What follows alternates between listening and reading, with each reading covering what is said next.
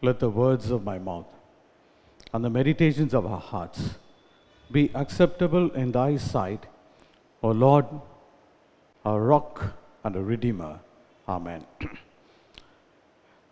Good evening to every one of you. Once again, I greet you all in the name of our Lord and Savior Jesus Christ.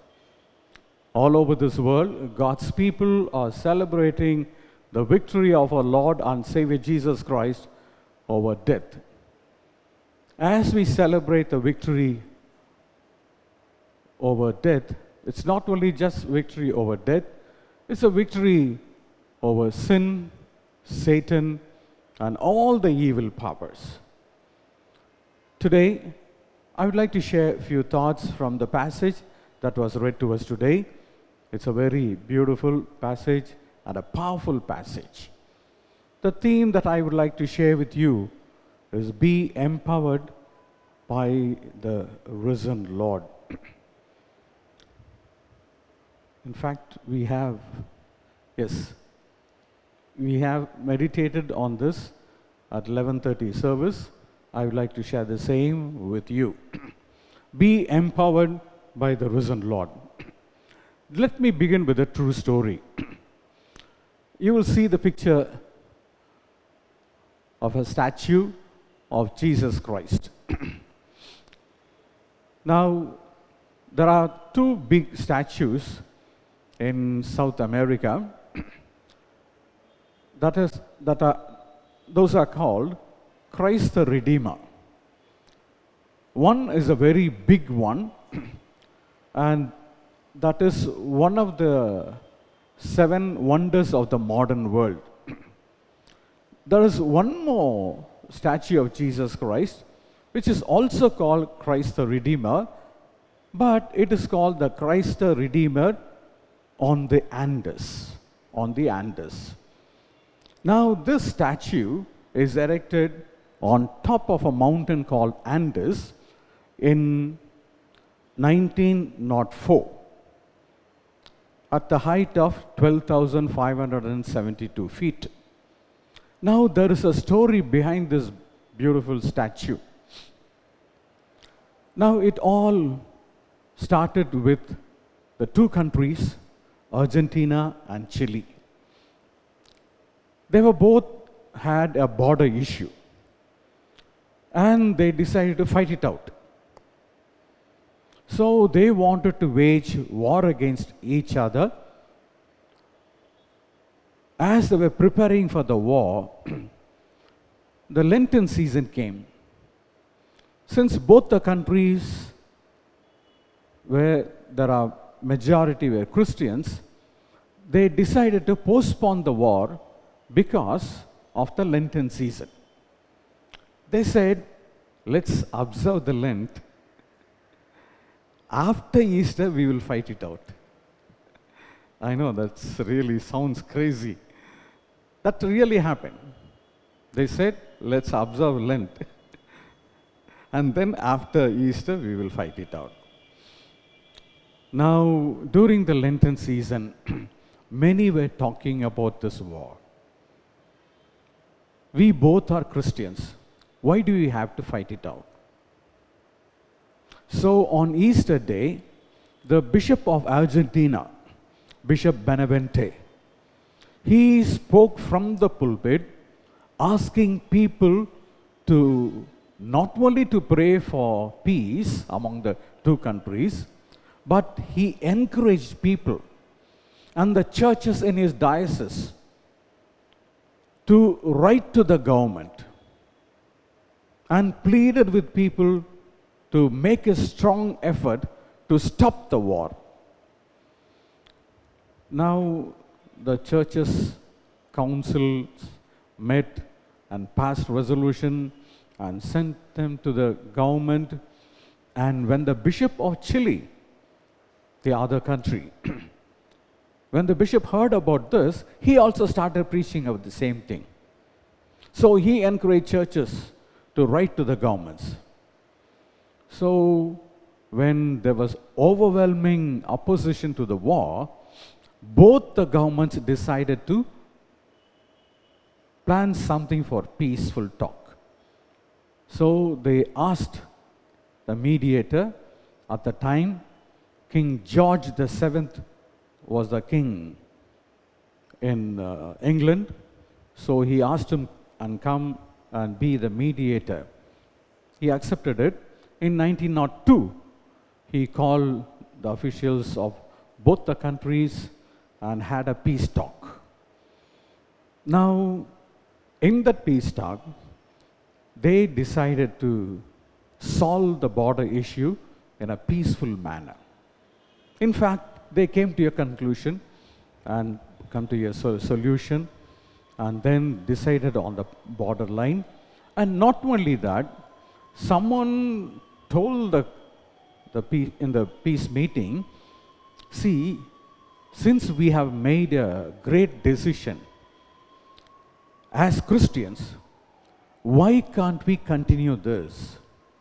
Why can't we decide that we will solve all the issues between the two countries only by dialoguing with each other? So that was accepted.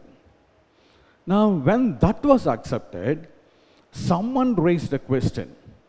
If we have decided that we are no, not going to wage war against each other country because neighboring country, what are we going to do with the arms and ammunition?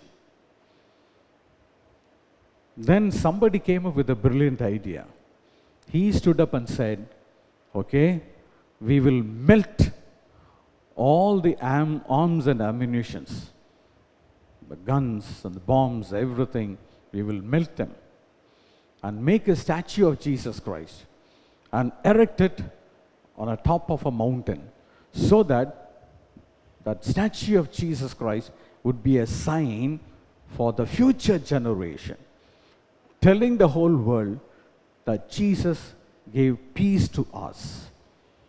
So they decided on that, and they already had a statue, and both the armies carried the statue first to the train, and then using horses, they pulled the statue, and after some times, both the men of both the armies they carried the statue and they erected on the mount called Andes.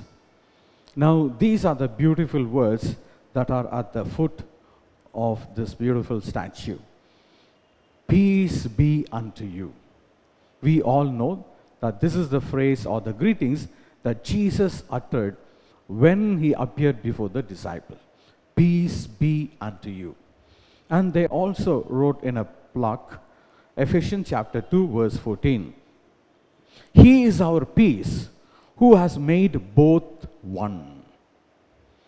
And below that, these are the writings.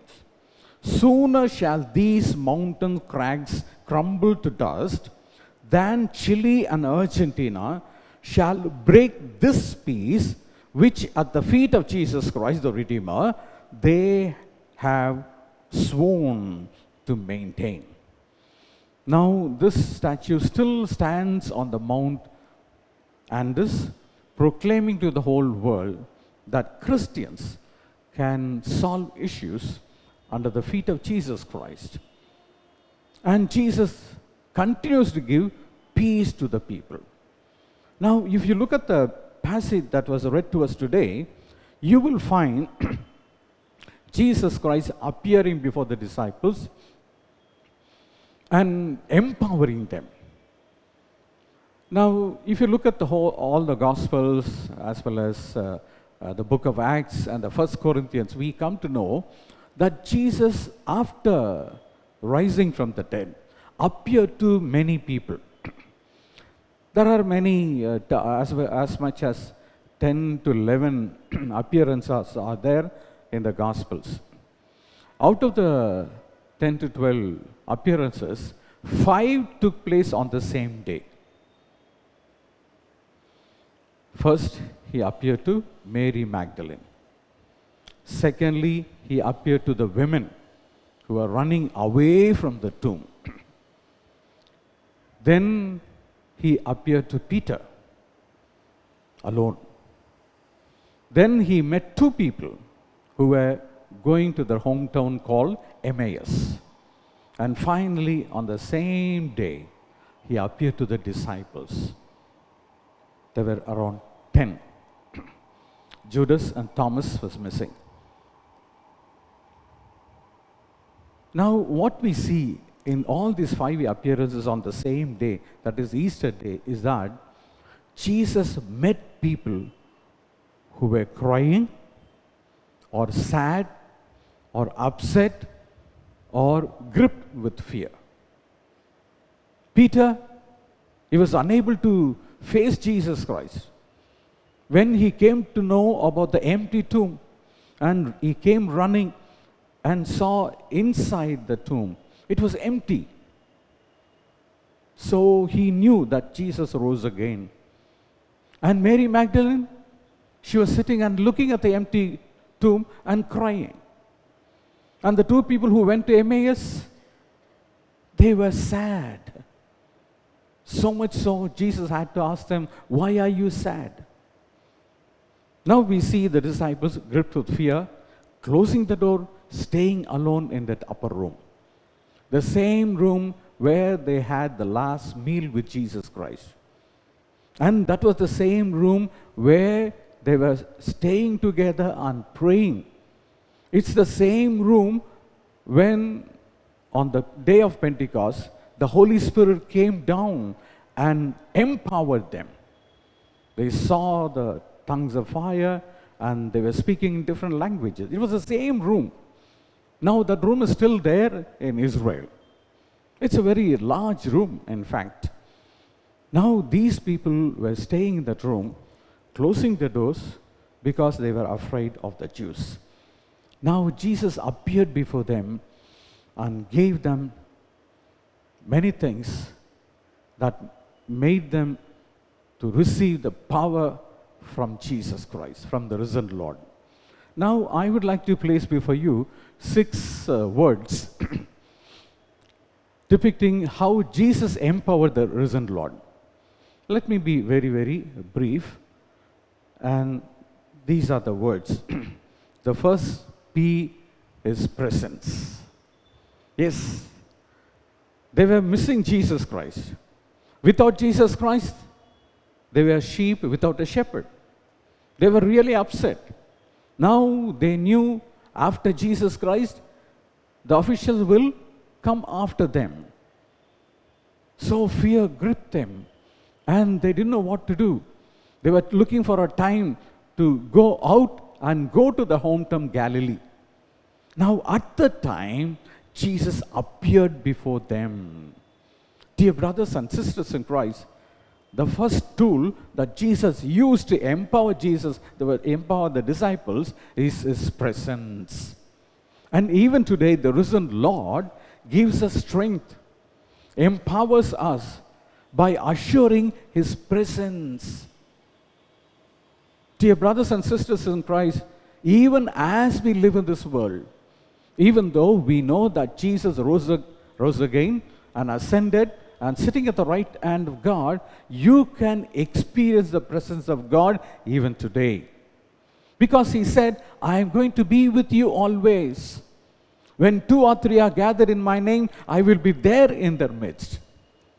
See, there are many times when you can be assured of God's presence. I've experienced that. Though I didn't share this in the morning, I shared it with other people. They encouraged me to share it with uh, others also. They said, you should tell us in the church. So I'm tell this true story. How I was able to experience the presence of God and continue to experience the presence of God even here in the altar. I was working in uh, Lebanon Buram, Mulakadai area, and there is one village called Amulai Vayil just beyond Madhavaram. it's a small uh, church, small congregation. I was conducting the Holy Communion service. There was no big altar, just a table. I placed the bread and wine. I'm conducting the Holy Communion service. And suddenly, a woman started making noise and she started swaying. And then I remembered the catechist telling me there was one lady who was possessed by the evil spirit. And two days ago, he came there and prayed in the house. As they were praying, suddenly they heard a noise outside. They went out and saw a cock jumping and falling down, lying still, dead. So he said, A woman is possessed with evil spirit. So as I was conducting the Holy Communion service, she started uh, making noise.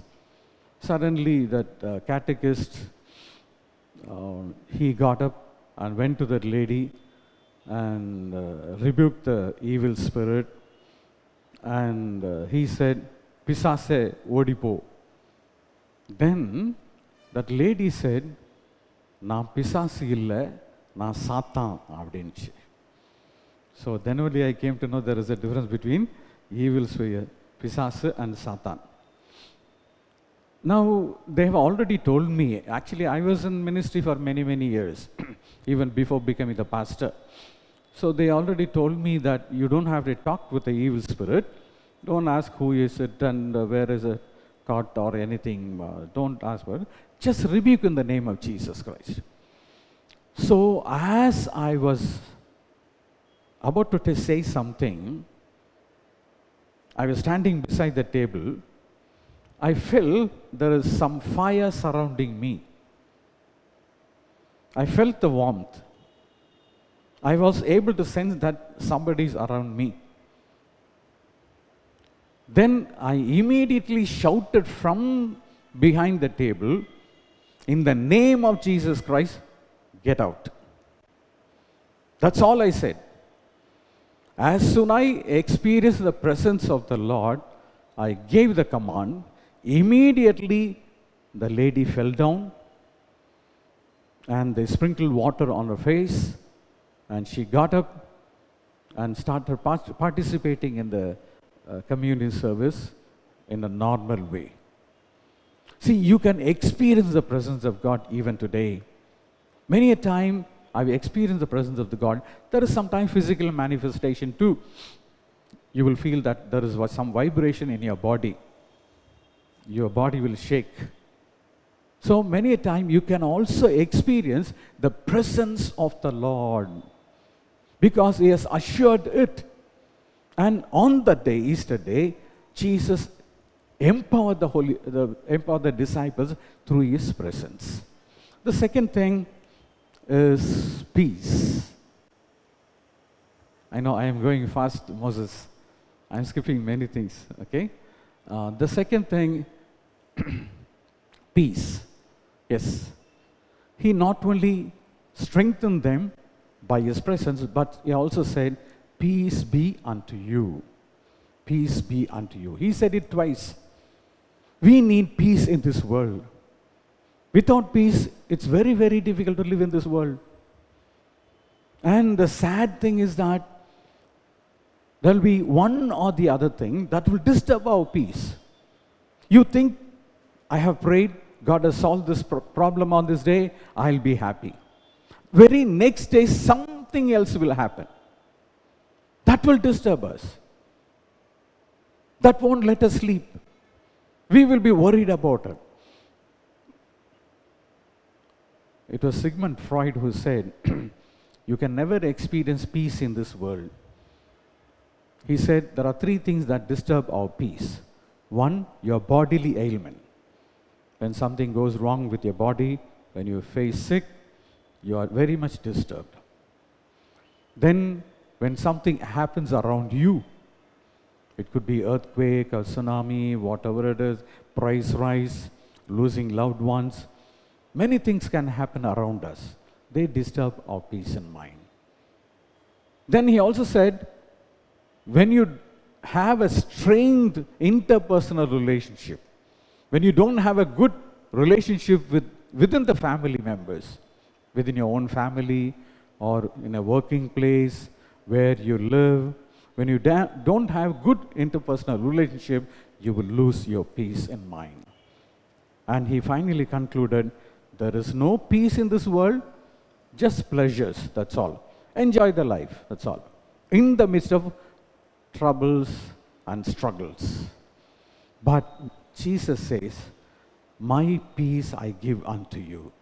In John chapter 16, verse 33, My peace I give unto you.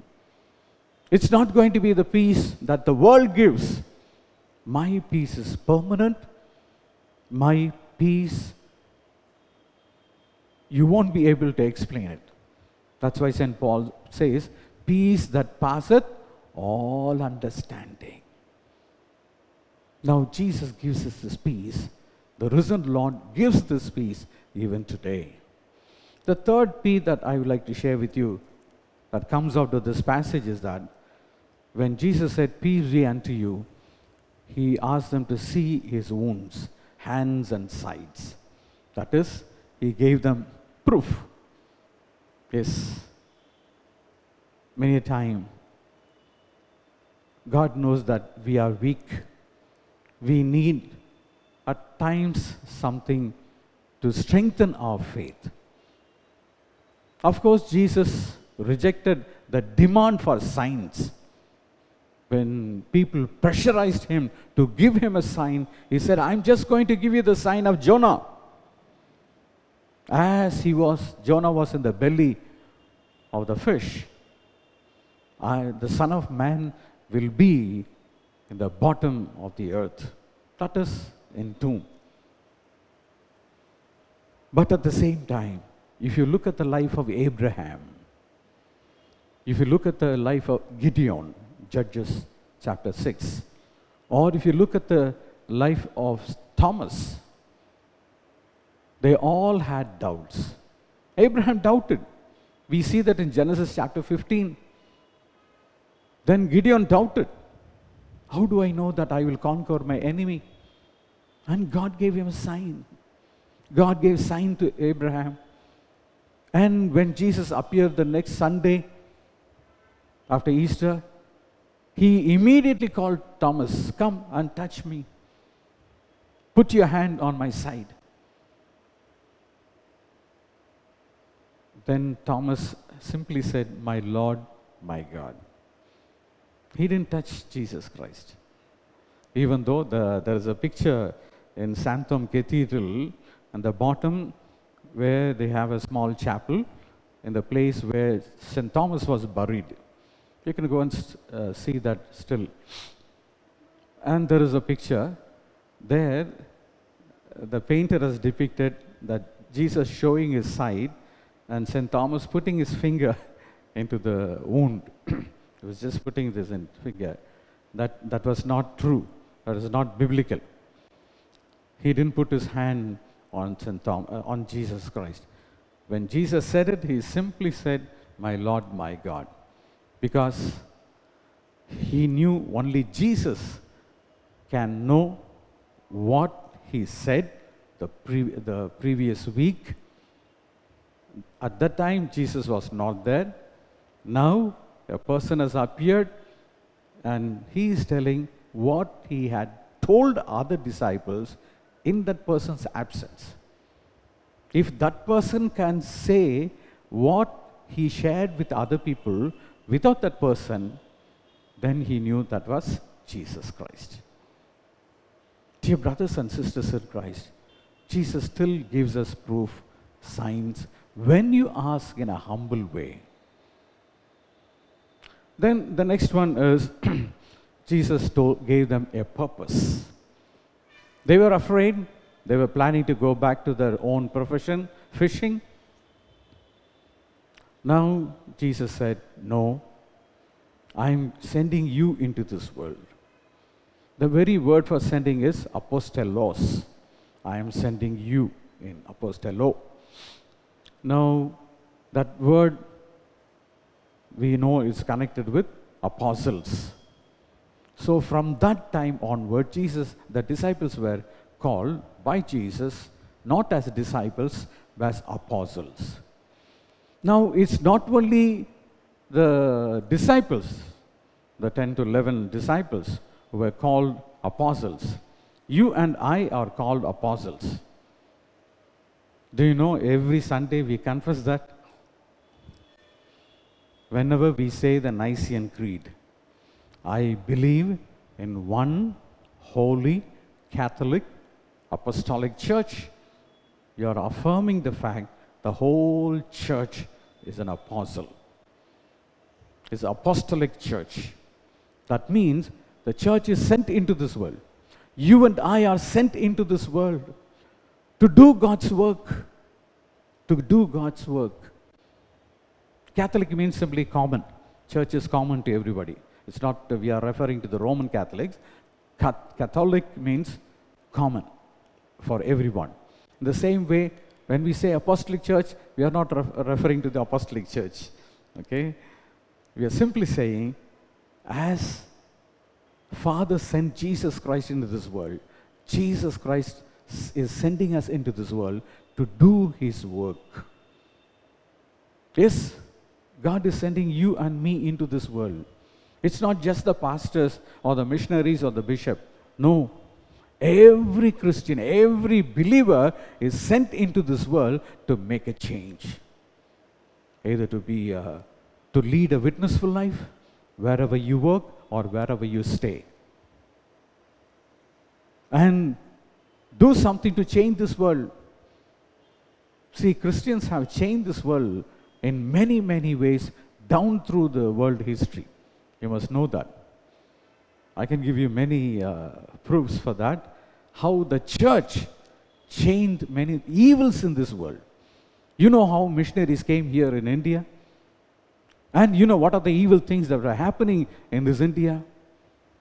How missionaries brought a change in this world because they knew there is a purpose in their life. They knew that God is sending them to India for a definite purpose. So they stopped sati.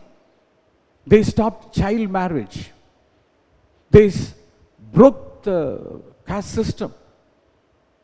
When the Indian society denied education to the girls, they started schools for the girls. Many things they have done to change this world because they knew God has a purpose in sending them into this world you also have a purpose. When you are born on earth, God has a purpose for you to be born on this earth. God has a plan for you. Here I remember Jeremiah chapter 1, verse 5, which says, Before I formed you in your mother's womb, I knew you. Before we were born, God knew that we are going to be born. And God had a plan for each and every one of us. And it's up to you to ask God, Lord, what is my purpose in my life? There are primary purposes in your life and secondary purposes also. So, whatever it is, you're born with a purpose. Never, never forget that. When you fulfill the purpose for which God has created you, you will have a happy life and you will have God's blessing. The next one is power. Is and Jesus breathed into the disciples and said, Receive the power of the Holy Spirit. Now, here I would like to remind you about Acts chapter 1, verse 8, where we read Jesus asking the disciples to stay in Jerusalem and said, Stay here you will receive the power of the Holy Spirit. The power of the Holy Spirit. Yes, Jesus empowers us through the power of the Holy Spirit. God knew that we are weak in mind as well as in our body. We need strength. That's why in the morning, uh, the other passages, uh, Psalm 118, where we read, The Lord is my strength the Lord is my strength, my salvation, my song and my salvation. And again, he clearly said that he is the one who empowers us. He strengthens us. He will help us to carry out our duties. He will help us by giving us wisdom to do many things in a wise way. So never, never forget the risen Lord empowers us also. He gives us strength. Then finally, he said in verse 23 you can forgive other people. I'll give you the privilege. If you forgive others, the sins will be forgiven. If you don't forgive, the sin will remain on them. So he has given the privilege, yes, privilege to forgive other people. He has given the authority. What kind of authority is that? It's the authority as a child of God. In John chapter 1, verse 12, we read, Everyone who believes in Jesus Christ has have the right to become the child of God. You're a child of God. You're sons and daughters of God. Never, never forget that. And in 1 Corinthians chapter 3, St. Paul says, We are fellow workers with God, co workers with God. And of course, in 2 Corinthians chapter 5, 20, he says, We are the ambassadors of Jesus Christ. So we are really, really, really privileged people. Realize that. Now, Jesus empowered his disciples by using these six things. Same risen Lord is with us too. He empowers us by assuring his presence, giving us his peace, giving us proof also, and showing us the purpose for which we are created. And he empowers us, gives us the power, and assures that we all privileged people. When we realize all these six things, you will definitely be empowered in your life and you will lead a victorious life. Whatever happens in this world, you will not be shaken. There's a beautiful verse in Psalm 16, verse 8, where it says, Since the Lord is on my right hand, I will not be shaken. I will not be shaken. Let's pray. Loving God, we thank you for this blessed Easter day. Thank you for enabling us to meditate on this beautiful passage. And thank you for the message that we have received on this day. The same risen Lord not only empowered his disciples, he empowers you and me. We all are disciples of Jesus Christ. And we are made into apostles. Yes, you and I are sent into this world to represent Jesus Christ. For that, He knows that we need empowerment. And by assuring His presence, by giving us His peace, by proving His presence and His guidance, by giving us the purpose in life, and by empowering, strengthening our body and mind. He assures our privileges and helps us to lead a good Christian life. Lord, we thank you for this message. Bless all those who are gathered here and meditate upon the living word along with me. In Jesus' name we pray.